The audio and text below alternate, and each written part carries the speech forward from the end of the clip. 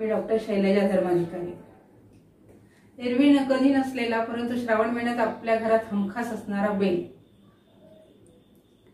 हा बेल जो आहे तो आपण श्रावण सोमवारी तर आपण बहुतेक जण वाहा महादेवाला वाहतोच.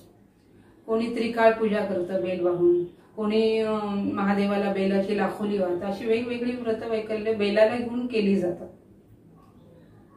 तर हा बेल जो आहे तो दोन प्रकारचा आहे. एक रानटी आणि गावठी. असे त्याचे दोन प्रकार आहेत. रानटी बेलाचं काय असतं की त्याला काटे खूप असतात.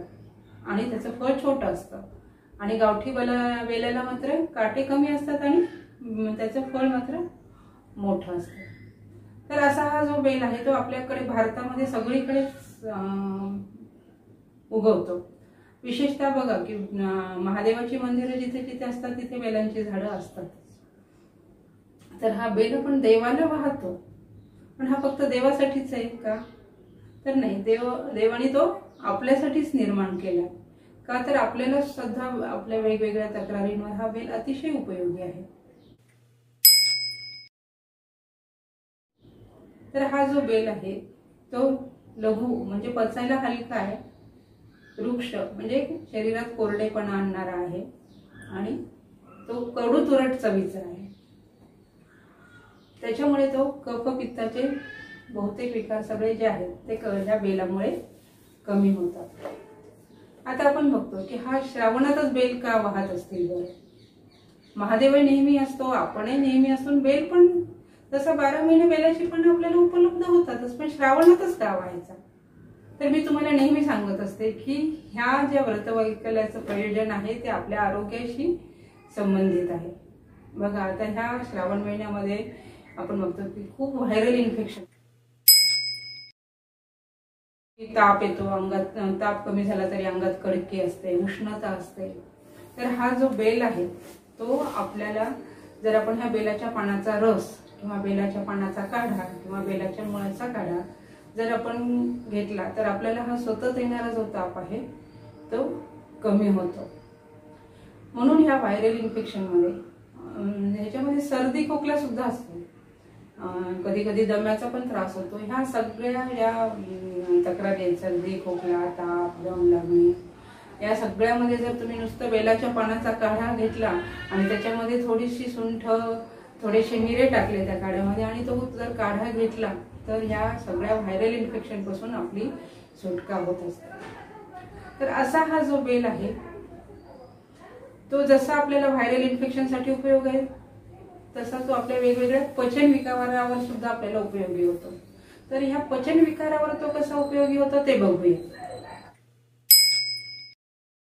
आपण आता आपल्याकडे बेल असतो तर त्या बेलाचा रस थोडं काढायचा म्हणजे थोडंसं पाणी टाकायचं कारण असं सहजासहजी बेलाचा रस निघत नाही. त्याच्यात थोडं पाणी टाकून तो मिक्सर मधून काढून त्याच्यामध्ये थोडस थोडंसं सेंदव मीठ आणि थोडंसं काळी मिरी टाकून जर आपण तो घेतला तर आपल्याला जे पच- पचनाचे विकार आहेत अजीर्ण किंवा अपचन आहे किंवा पोटात जंत झाल्यामुळे पोटदुखी आहे तर ह्या अशा ह्या सगळ्या तक्रारीवर जर आपण बेलाचा रस जर काळे सेंध आणि काळी मिरी आणि सेंध वगैरे घेतलं तर आपल्या त्या तक्रारी दूर होतात. आपण बघतो की खूपदा काय होतं की या दिवसांमध्ये जुलाब होतात. आणि कधी कधी अगदी रक्त आव पडतं. रक्त म्हणजे पोटात दुखून शौचाला होते त्याच्यामध्ये आव पडते किंवा रक्त सुद्धा पडतं. तर अशा वेळेस सुद्धा ह्या बेलाचं जे फळ असतं तर ते कच्चं फळ त्याचा जर आपण गर काढून घेतला आणि तो खडीसाखर आणि गर एकत्र करून जर आपण घेतला तर आपल्याला त्याचा नक्कीच फायदा होतो. ह्या बैलाचा गर आपल्याला काढायचा काढायचं तर क- तो प्रत्येक वेळेस आपल्याकडे असेलच असं नाहीये. तर जेव्हा जेव्हा आपल्याला बिल्व फळं मिळतील बेलाची फळं तर ती फळ कच्ची फळं घ्यायची आणि तो त्याचा जो मगज आहे तो काढून घ्यायचा आणि तो वाळवायचा. त्याला बेलाची काचरी म्हणतात. तर ही बेलाची काचरी सुद्धा या रक्ती जी आहे त्याच्यामध्ये खूप उपयोगी पडते. की जेव्हा आपण असं अशा पद्धतीने जेव्हा शौचाला त्रास होतो म्हणजे पोट दुखून शौचाला होते त्यात आव पडते रक्त पडतं. तर अशा वेळेस जर ही काचरी बेलाची काचरी सुंठ त्याच्यात थोडेसे धणे आणि खडीसाखर असं टाकून जर आपण घेतलं तर आपल्याला त्याचा फायदा होतो. कधी कधी ह्या बेलाच्या काचरी सोबत सुंठ नागरमोथा आणि जिरे याचा जरी काढा करून घेतला तर कसलाही अतिसार म्हणजे कशा पद्धतीने म्हणजे किती जुलाब होत असलं तरी त्याचा आपल्याला फायदा होतो. फक्त हे काय करावं लागतं की आपल्याला औषध थोडंसं तीन चार वेळा घ्यावं लागतं. विशेषतः याच्यात कसं आहे की जो कच्च्या बेलाच्या फळाचा घर आहे तो काय करतो की अतिसारात आपल्याला उपयोगी होतो. म्हणजे जुलाब वगैरे होत असतील पातळ शौच होत असेल तर तो तिथे मलाला घट्टपणा असतो. आणि तेच जर आपण पिकलेलं फळ घेतलं आणि त्याचा घर काढला आणि तो जर पोटात घेतला तर आपल्याला पोट साफ होतं. म्हणजे बघा एकच बेल आहे पण त्याचे त्याची अवस्था बदलली की त्याचे कसे गुणधर्म बदलतात? तर अशा पद्धतीने आपण विशेषतः कच्च्या जो घर आहे तो जर सुंठी सोबत घेतला तर आपल्या आणि खडी खडी साखरेसोबत घेतला तर रक्तयाव तर कमीच होते पण मूळ व्याधामध्ये सुद्धा जर खूपदा रक्तस्राव होतो ना तर तो रक्तस्राव सुद्धा अशा पद्धतीने जर आपण बेलाचं फळ घेतलं तर त्याचा फायदा होतो. विशेषतः रक्तयाव आजकाल खूप जणांना बघा की आम्ही बी कोलायटीस आम्ही बी किंवा आपण ग्रहणी म्हणतो प्रवाहिका तर असे त्रास खूप जणांना असतात. तर याच्यामध्ये काय होतं की हा बिल्व मज्जावले हा बाजारात मिळतो आपल्याला जर समजा हे फळ मिळालं तर खूपच चांगलं आपल्याला घरच्या घरी त्याचा इलाज करता येईल. परंतु नाही मिळालं तर बाजारामध्ये बिल्व मज्जावले हा मिळतो. याच्यात एक वैशिष्ट्य कसं आहे माहिती का? की हा बिल्व म्हणजे बिल्व मज्जा आहे किंवा बेलाचा घर आहे तर तो आपल्याला हा पोटांच्या विकारावर काम करतो. याच्यात अजून एक थोडस शास्त्र असं आहे की हे पोटाचे विकार आहेत ना ते आपले मानसिक ताणतणावामुळे सुद्धा खूपदा होतात तर ही बिल्व म्हणजे आहे ते आपल्या मनावर काम करते. या बिल्व म्हणजेमुळे म्हणजे बिल्व म्हणजे म्हणजे बेलाचा जो गर आहे किंवा बेल जो गर आहे तो जर आपण पोटात घेतला तर आपलं मन एकाग्र होतं मनाला असं धैर्य येतं. म्हणून आजकाल कोरोनाच्या काळात सुद्धा बिल्व म्हणजेचा वापर आपण केला पाहिजे की जेणेकरून मनाला आपल्या दृढता येईल आणि मनाची एकाग्रता सुद्धा वाढेल. आणि जे सध्या एक मनामध्ये भीती आहे ती सुद्धा कमी होईल. कारण हे पोटाचे विकार सगळे आपल्या मनाच्या अवस्थेवर सुद्धा बरेच वेळेस अवलंबून असतात. म्हणून सुद्धा ह्या बिल्व म्हणजेचा म्हणजे या बेलाच्या फळाचा जो घर आहे त्याचा त्याच्यामध्ये उपयोग होतो. म्हणून विशेषतः अतिसारावर किंवा रक्तीप्रवाहिका म्हणजे रक्ती आव किंवा रक्ती मूळ व्याध अमेबिक कोलायटिस बियासिस यासारखे जे विकार आहेत त्याच्यावर ही बिल्व म्हणजे बेलाच्या फळाचा जो गर आहे तो खूप काम करतो.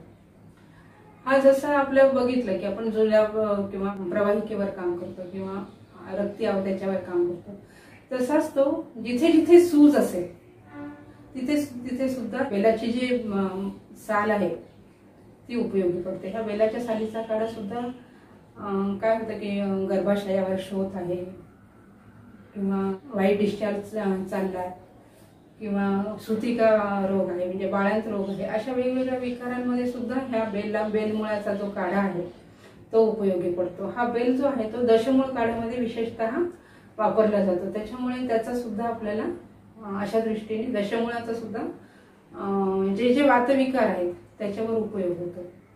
कधी कधी ह्या वातामुळे सुद्धा आपल्याला छातीमध्ये धडधड होतं किंवा एकदम छातीत दुखल्यासारखं होतं. अशा वेळेस सुद्धा जर आपण हा बेलमुळाचा काढा वापरला तर आपल्याला त्याचा फायदा होतो. आपण जसं पाहिलं की हा जसा पचनाच्या विकारावर काम करतो तसाच तो विशेषत विशेषतः आजकालच्या काळात डायबिटीस. म्हणजे अतिशय खूप पेशंट आहेत आपल्याकडे डायबिटीसचे. हा डायबिटीसच्या पेशंटमध्ये सुद्धा आपल्याला या बेलाचा खूप चांगला उपयोग करून घेता येतो. तर या डायबिटीसमध्ये आपल्याला कसा उपयोग होतो ते बघूया आता.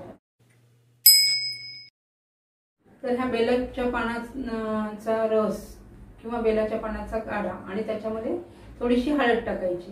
किंवा त्या दोन्हीच्या मिळून एकत्र जरी काढा केला तरी चालेल. तर असा जर काढा केला तर आपले श म्हणजे जे डायबिटीसचे पेशंट आहेत त्यांच्या शरीरातलं ब्लड शुगरचं प्रमाण कमी होतं. आणि आपण बघतो की ब्लड शुगरच्या पेशंटला म्हणजे जे डायबिटीसचे पेशंट असतात त्यांना सतत घाम येतो सारखं लघवीला जावं लागतं. तर अशा वेळेस जर त्यांना आपण ह्या बेलाच्या जो फळाचा गर मी म्हटलं बिल्वा म्हणजे त्याच्यात सुंठ टाकून त्या दोघांचा काढा केला तर हे त्यांना वारंवार जे लघवीला जावं लागतं आणि त्यांच्या घामाला एक प्रकारचा दुर्गंध येतो ते वारंवार लघवीला जाणे त्यांचं कमी होतं. आणि शरीराला जो येणारा एक घामाचा दुर्गंध असतो तो पण कमी होतो. तर हा घामाचा दुर्गंध फक्त डायबिटीसच्याच बाबतीत नाही तर एरवी सुद्धा कोणाला असं खूप घाम येत असेल आणि त्या घामाला एक वास येत असेल तर अशा वेळेस जर आपण त्या बेलाच्या पानाचा रस किंवा बेल पानाची पानं कुस्करून जर अंगाला लावली तर ते घाम येण्याचं प्रमाण पण कमी होतं आणि त्या घामाचा दुर्गंध सुद्धा कमी होतो. तसंच आता शरीरावर चेहऱ्यावर खूपदा थकवा आल्यासारखा वाटतो. आणि चेहऱ्यावर वांग किंवा काळे डाग असे पडलेले असतात. अशा वेळेस सुद्धा जर आपण बेलाचा रस आणि थोडासा मन हे दोन्ही मिळून जर चेहऱ्याला लावलं तर तो चेहऱ्याचा काळेपणा पण कमी होतो आणि त्याचा थकवा सुद्धा कमी होतो. तसंच बेलाची पानं जर रोजच्या रोज आपण चावून खाल्ली तर अंगातली उष्णता कमी होते कडकी कमी होते तोंडाला येणारे जे फोड असतात वारंवार तोंड येणं वगैरे हे पण तक्रारी त्याच्यामध्ये. कमी होतात तर अशा वेगवेगळ्या कारणांसाठी हा बेल आपल्याला फक्त महादेवालाच नाही तर स्वतःला सुद्धा तो आपल्याला व्हायचा आहे. म्हणजे त्याचा आपल्याला स्वतःला उपयोग करून घ्यायचा आहे.